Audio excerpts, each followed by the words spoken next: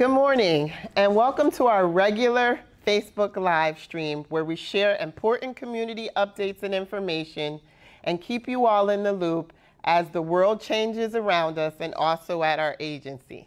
Today, we have the blessing and the honor of having three really special guests that are going to share important information with you as you plan through the summer and definitely plan to have that COVID 19 test. So, without any further ado, I'd like to introduce to you the president and CEO, Melly, uh, Melly, wow, Molly Melbourne, who is the dynamic leader of the Southwest Community Health Center. She's going to share important, great information with you to make sure we all get out and get tested. Ferguson, thank you so, so much. And trust me, I have been called much worse. So Melly is fine by me any day. Uh, but thank you also for your ongoing partnership and collaboration. I greatly appreciate the chance to be here today and talk about some of the things that Southwest Community Health Center is doing around COVID. Uh, the first thing I want to make sure everyone knows is that we are open for business. We offer both in, in-person and telemedicine services. Our dental department is back open, so any community needs uh, that arise, we can certainly accommodate. Uh, we are also doing a lot of testing. It is really important that we all know our COVID status so that we can plan accordingly. If we're positive, we need to quarantine for 14 days. If we're negative, we need to keep doing what we've been doing, social distancing and ensuring that we have that mask on when we are out in public or out in crowds. Uh, so I want to let you know a little bit about our testing. We test every single day, Monday through Saturday, at our 510 Clinton Avenue site. The testing there is by appointment only, so if that is something you would like to do, please be sure to call us. Our phone number is 203 330 6000 and we can get you set up for an appointment. We also do community pop up testing every Wednesday at our 968 Fairfield Avenue location. This event runs from 9 to 1 every Wednesday except July 1st, uh, and we can move you through that process very quickly. You do not need insurance, you do not need symptoms, nor do you need a doctor's note. You just need to show up. Uh, we have people who are walking the lines that speak lots of different languages, so they can help you complete those forms if you have any challenge with that. Uh, and we can work you through that process very quickly. The actual test itself is very fast. Uh, and then we usually get results back within a couple of days. We then follow up with all of the folks who have come through for testing, make sure that we get those results to them, and provide any follow up care that may be needed. We are also in the process of finalizing our July calendar for the testing that we're doing with our community based and faith based partners. You will find events scattered throughout the month of July all over the city of Bridgeport. To give you an example, we are going to be serving the PT communities on July 7th. We will be at Liberation on Mill Hill Avenue on July 9th. We will also be working with the Bridgeport Islamic Community Center on the 19th of July, and we have something scheduled at the Caroline House on the 16th of July. So we are pushing out and working with all of the partners who are interested in hosting an event. Uh, again, this is a great way to reach the constituents of those partner agencies as well as more of the Bridgeport community. So please take, take a look at our website. You can find us at www.swchc.org, and we have a list of our tests. So uh, we hope that we're able to serve you at some point in this uh, situation, both through testing as well as through any medical, dental, or behavioral health needs you may have. Thank you so much for letting me be here and share this information with you. Thank you, Molly. Sorry for the slip up on your name. Uh, we are so happy to be close, growing partners with Southwest Community Health Center. They are an important part of our community and they are doing important work. So, you would be very happy to know that COVID has not canceled summer. We still have some exciting activities and happenings here. And today, we have the director of the Youth Services Program from the City of Bridgeport, Ms. Tammy Papa to share some important information on how we can our youth can continue to have fun this summer. Thank you so much, Dr. Ferguson, for, for having me. Um, this is a wonderful opportunity for the city to share with you some of what we're going to be doing for uh, the Lighthouse program this summer. Instead of an in-person camp, we are going virtual. So we have been providing virtual after school services for the past month or so and uh, decided that we would continue doing that uh, to ensure the safety of the young people that we serve. So we will be offering in all of our schools the opportunity for young people in grades K through 8 to actually sign on during the day between the hours of 9:30 and 2:30 and not only uh, get to have um, an additional hour of academics per day but also enjoy a lot of enrichment activities that are being planned for them. We have unbelievable partners. Of course, um, uh, we have the Alliance as one of our partners, but we have others that have been so supportive throughout this, uh, whether it's Neighborhood Studios or the YMCA, Bethel AME Church, VIP. All of them employ tremendous staff. They've done a phenomenal job at getting um, all of these activities uh, together and planned. Parents are going to have the opportunity to um, not only sign their children up, but to also pick up the supplies that they'll need to participate in this program. We are going to um, be providing everyone with curriculum. The Board of Ed has been kind enough to supply us with that for all age groups, and uh, that is being printed as we speak. So, in addition to all of the fun enrichment activities, we've got that coming, and the uh, Board of Ed has also partnered with us to allow the young people to have access to Chromebooks. So parents will be able to sign a Chromebook out for their child so that they can fully participate in the program. We are so looking forward to this as an opportunity. We're getting better and better at it every day, and we hope that it's um, an exciting way for young people to stay engaged this summer while staying home and stay, be, being safe. So if you want more information, you can not only contact our office, at 203 576 7252. But you can also visit uh, the city website at www.bridgeportct.gov. Bridgeport is spelled out. You click on the department link for the Lighthouse program, and it brings you to all the information that you need on it. So we certainly hope we have an opportunity to work with your children this summer.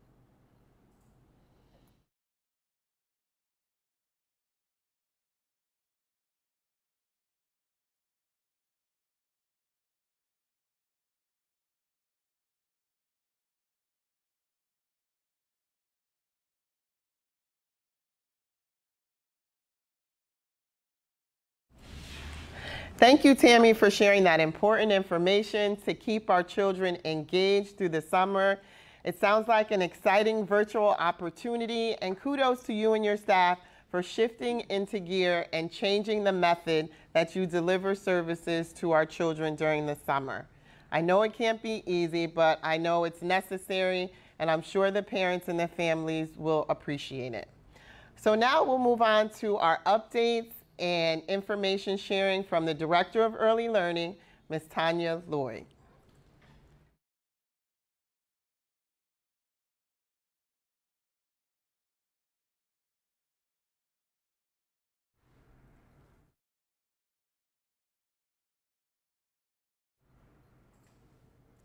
Good morning.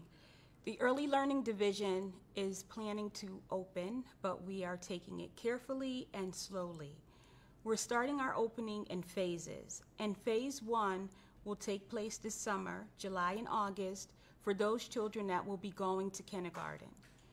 We're focusing on these children because they are the ones that need that extra last minute support before they leave us and go on to a different journey.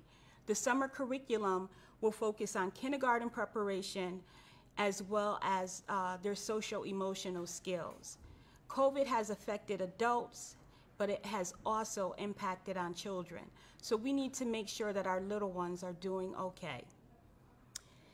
Our anticipated reopen date is July 13th, and our staff is very busy in the process of contacting these families, finding out who's interested in coming back, also updating their contact information, and providing resources for the families.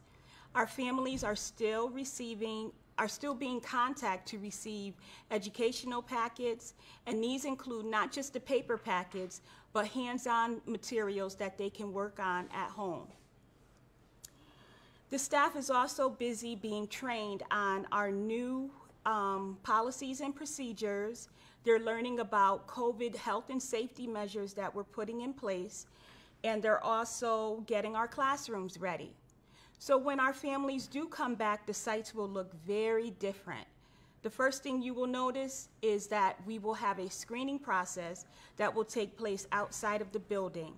We will be asking uh, questions, a series of questions about the children's health, as well as taking their temperature.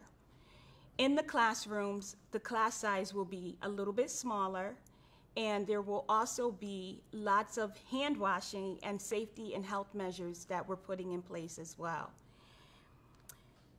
We are also cleaning, cleaning, cleaning, and sanitizing all of our sites, not just in the morning, but throughout the day. Everything that we do is based on guidance from the OEC, Office of Early Childhood, as well as the CDC. We're also working on plans for phase two. So we're going to take a, a, little while to see how phase one is going, and then I'll be back to share information about phase two. And on top of all of that, we are recruiting. Recruitment still goes on. We're not quite sure what it will look like in the fall, but we're preparing for our children to come back. We miss you guys. So if you know anyone that's interested in services, it's not just childcare, it's comprehensive services. Please contact our website. Please go on our website for more information www.alliancect.org. Thank you.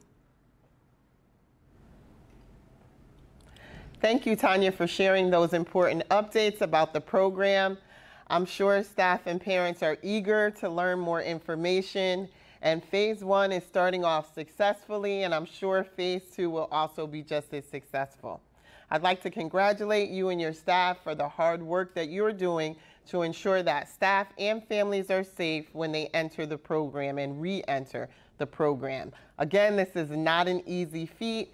We've all get, we're all getting different information day in and day out, and you and your staff has done a lovely, wonderful job at maintaining all the information, taking it all in, and making the changes that are necessary to make sure staff and family are safe. So now is the part of this segment where I get to give you, where I am um, pleased to give you updates about the, uh, the, the agency overall. First of all, I'd like to announce that we are hiring in our supportive services department and our energy assistance programs. We're looking for case managers and much more. So if you're interested, eh, excuse me, if you're interested in applying for a job with the Alliance in either the case management department and or the energy assistance department, please go to our website at, as Tanya said, at www.alliancect.org and search jobs, as well as you can go to monster.com and enter Alliance CT in the search, and all the open positions that we've posted should appear. We also would like to let you know that the supportive service department is operating on a daily basis. Though we have not been ready to receive clients into our office yet, we are still doing business on a daily basis via phone and internet.